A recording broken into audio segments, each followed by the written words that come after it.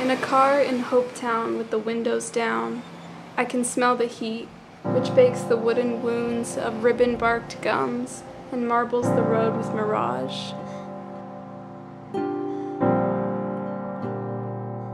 I see the small mountains all around me and think back to my old self, to the Rockies, to those snow blown giants that held me in their midst.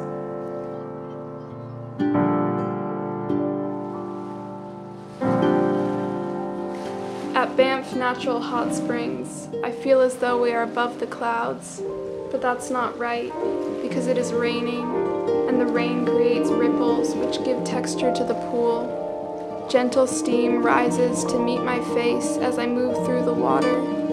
Serendipity swells beyond the memory, swells so big I feel it for a moment, feel it through the decade, before it slowly slips away like water down a drain.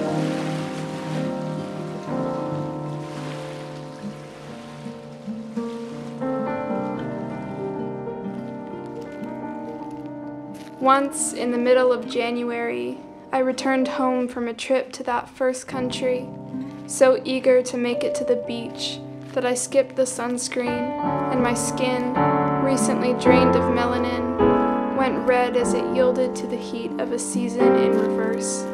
And later on, the shocking sting of my shoulders under the shower head reminded me, as I turned the faucet to cold, of the compromises my body will forever be making, how everything I love is split in half.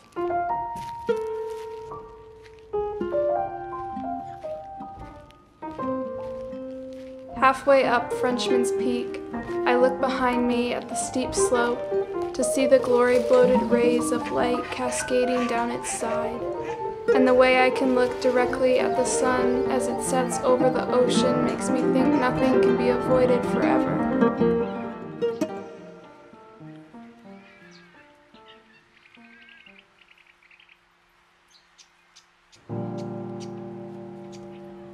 From this vantage point, everything on earth is congruent and united.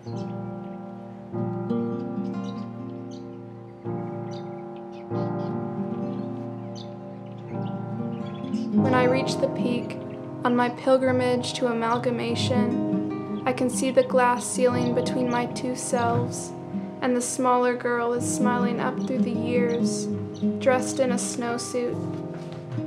No longer afraid she might be erased by each passing birthday, the southern sun, same sun, is shining down on her, and everything I love is a Mobius strip with not one distinct side to speak of.